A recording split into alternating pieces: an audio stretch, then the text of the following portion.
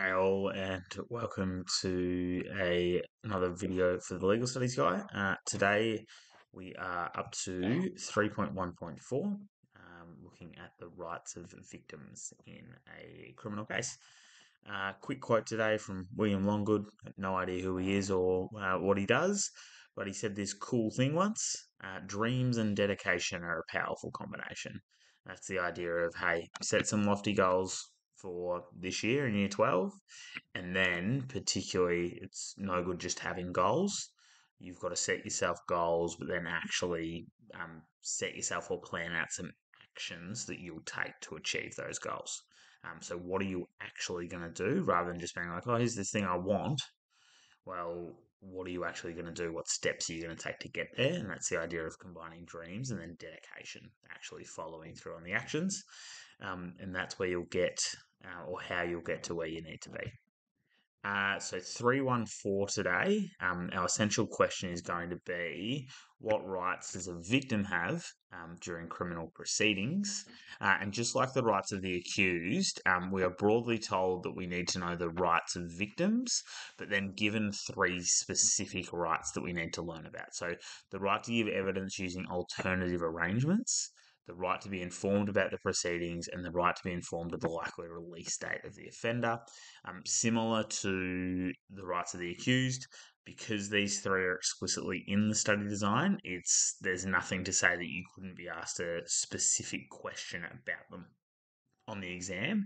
Um, so you need to learn all three. It's not a case of like, oh, I'll just try and remember one of the rights um, you've got to be across all three of these. And again, our key skill is just going to be explain, um, and we'll look at a bit of a simpler task word, a very rare one today, but um, but one that is worth knowing.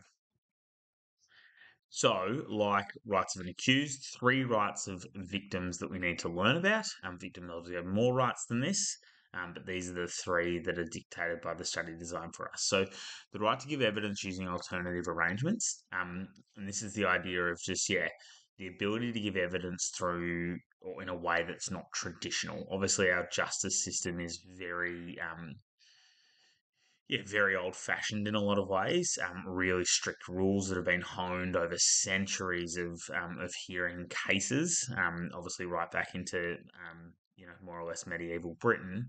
Um, and a big feature of that is the idea that every witness has to go onto the stand um, answer questions. They can't stray from the questions that they're asked.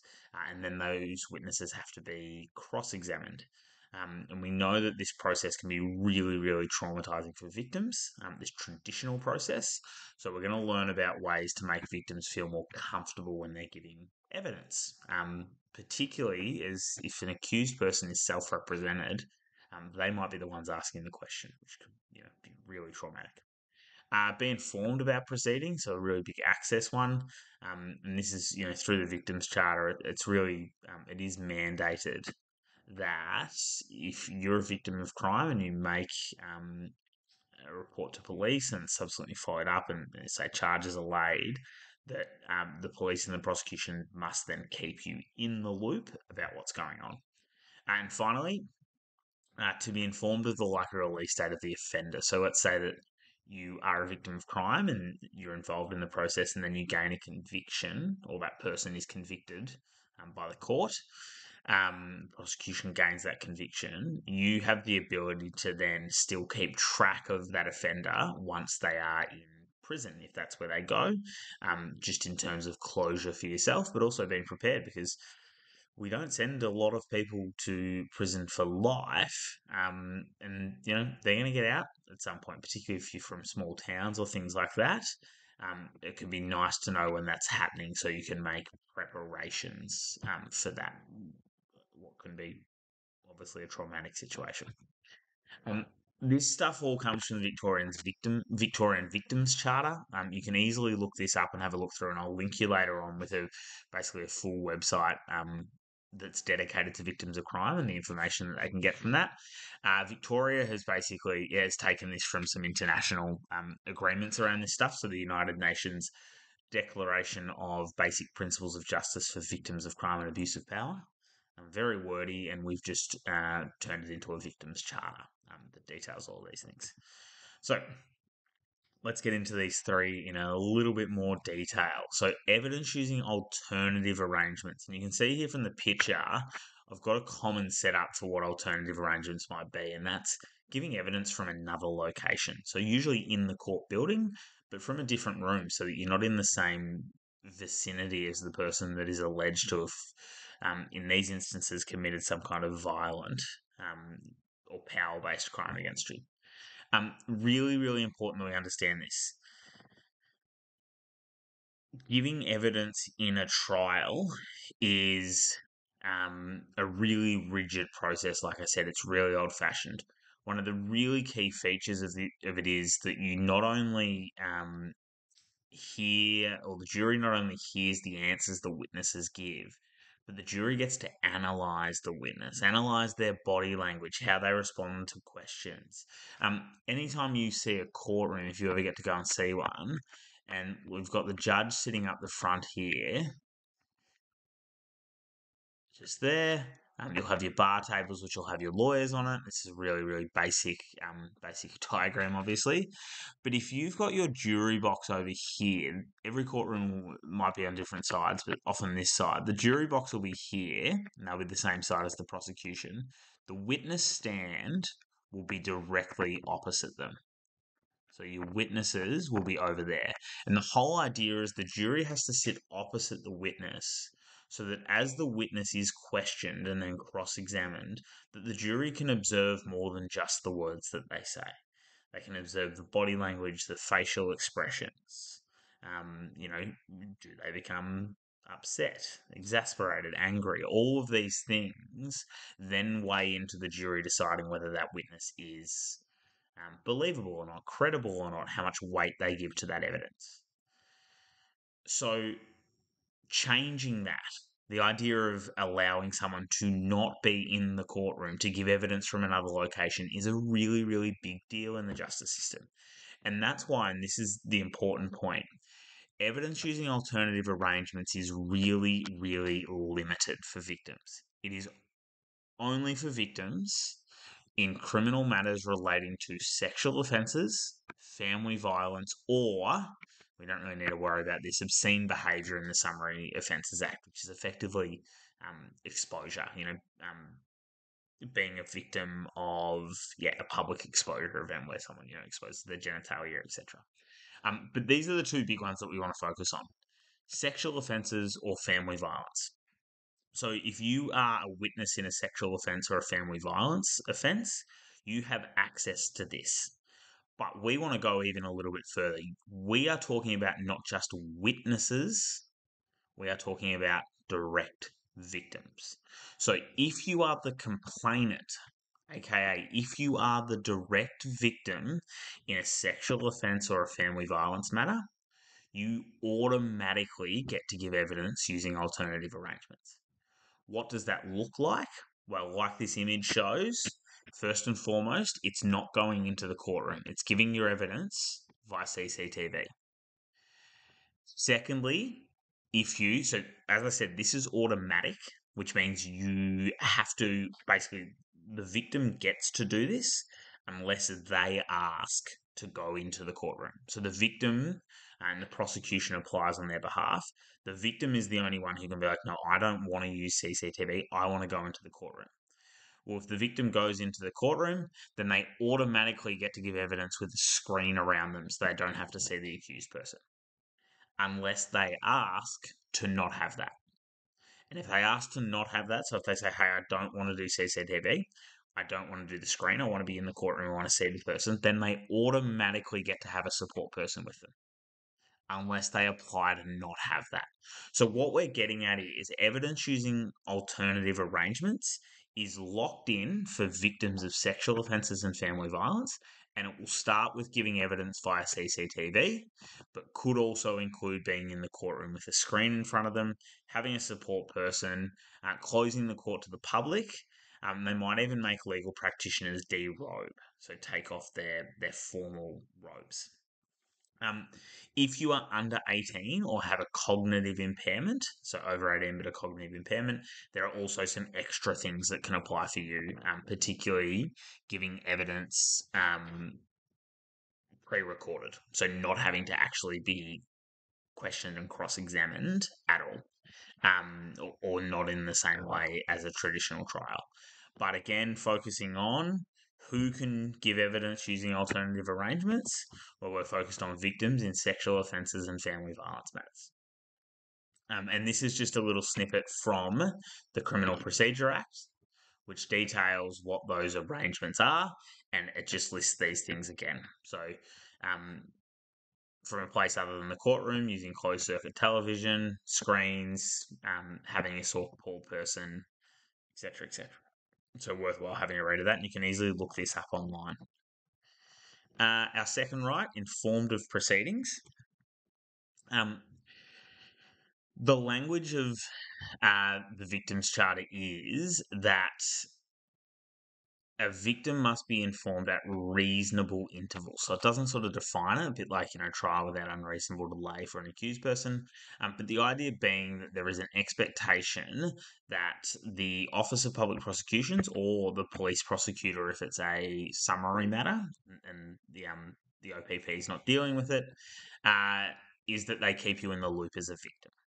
Um, so a range of things that they must inform you about. For example, um, if they decide to file a charge, so if they actually be like, yes, we're filing a charge, they should let you know. If they decide to modify or drop charges, they should let you know. Uh, if they're entering into plea negotiations, um, they're not required to, but they should let you know. If you want to be in, you want to know about when court hearings are happening, or particularly the trial, they should let you know or show you how to find out so that you can turn up if you want to be, um, if you yeah want to be involved or you want to know what's going on. And obviously, they should inform you of the ultimate outcome in the end. Um, and this is also a big one. I mean, um, rights of victims. Um, if I guess a charge is not filed or it's discontinued, then technically under the um, legal system, you're not a victim anymore because no one's been um, convicted. But if prosecution or police decide not to charge someone or to discontinue charges, they need to explain to you why.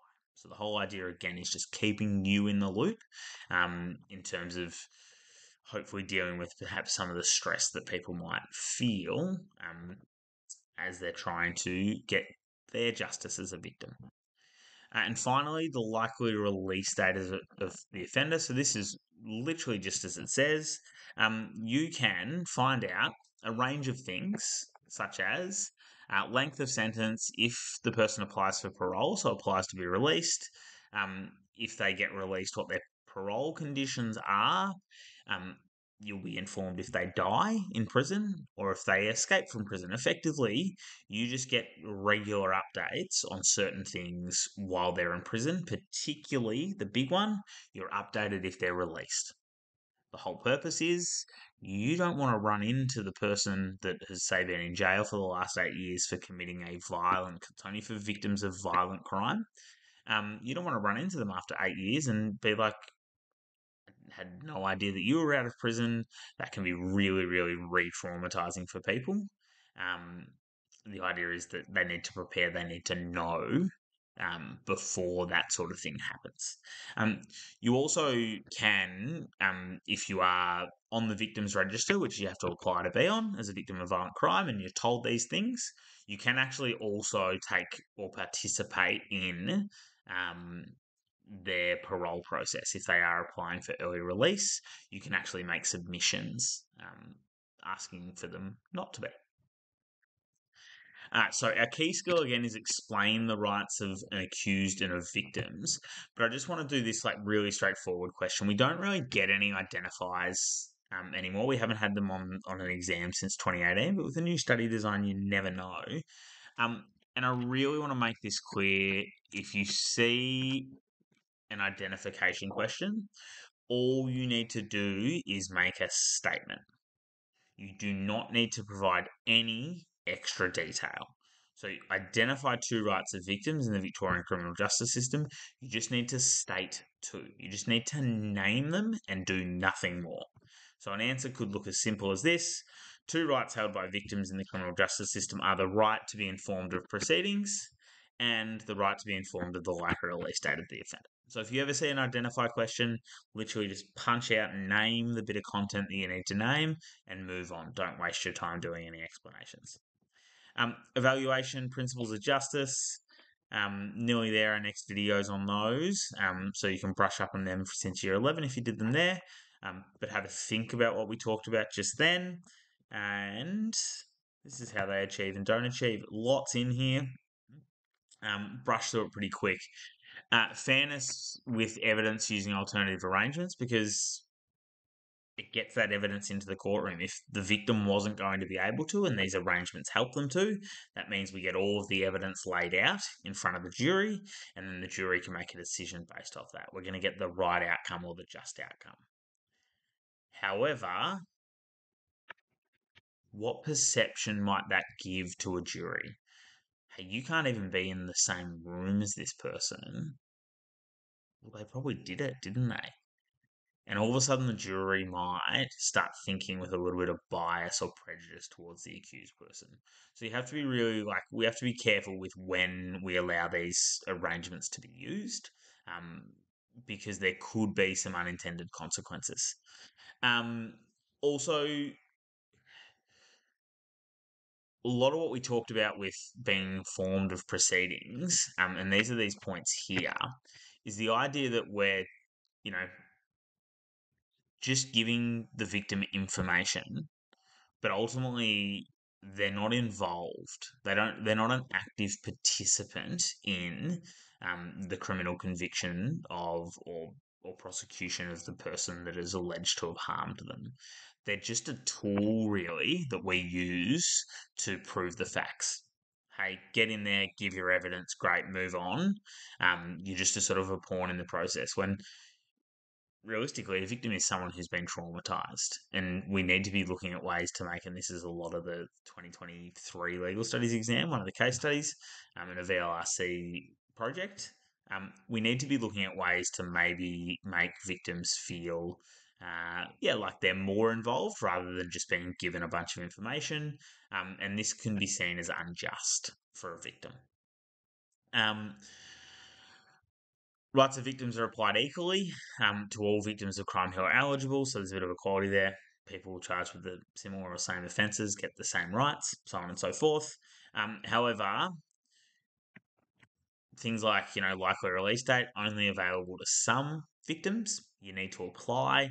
Um, so people who have similar offences, some might apply, some might not. You know, creates that little bit of inequality. You know, people getting different outcomes and different factors that could weigh into that. Uh, informed about proceedings is all about access. Um, and even likely release date of the offender can sort of come into there as well. It's all about giving you information, allowing you to engage um, with the justice system. Um, but again, are you truly engaging if you're not an active participant? If you're just a tool used to get a conviction, you're just someone being given a heap of information about what's going on, but you're not actually getting a say you're not actually having any input, and as a result, you're not necessarily, um, yeah, getting the benefits that you're hoping to as a victim. So that's one to think about, uh, and ultimately just thinking about this as well. You know, is there a bit of a tug of war between rights of victims and rights of the accused? Um, if we give victims too many rights, allow them to participate too much and too many alternative arrangements, etc., etc., at what point are we jeopardizing the idea of a fair trial? At what point are we jeopardizing um, the structures and processes that have worked in our? Some people say they haven't worked, um, but have you know been a key pillar of our justice system for hundreds of years. Um, really, sort of big, broader, and deeper questions there than perhaps we need to consider in legal studies. Uh, I'll include this link below, um, just a website that the Victorian government has that is fully dedicated to um, victims of crime. So if you have been a victim of crime um, or you're interested to see what sort of information they can get, have a click on that and have a look. Um, yeah, look, hopefully no one ever asks you this question um, because hopefully you avoid this sort of stuff in your life. But if someone does say to you, hey, I've been the victim of a crime, what rights do I have? I would hope that after watching that, you can give them a really, really comprehensive answer. Um, feel free to jump into the comments. Um, yeah, let us know how we're going. Let us know how you're going. um, anything else you would like us to do in our videos. Um, but thanks for watching the whole way through.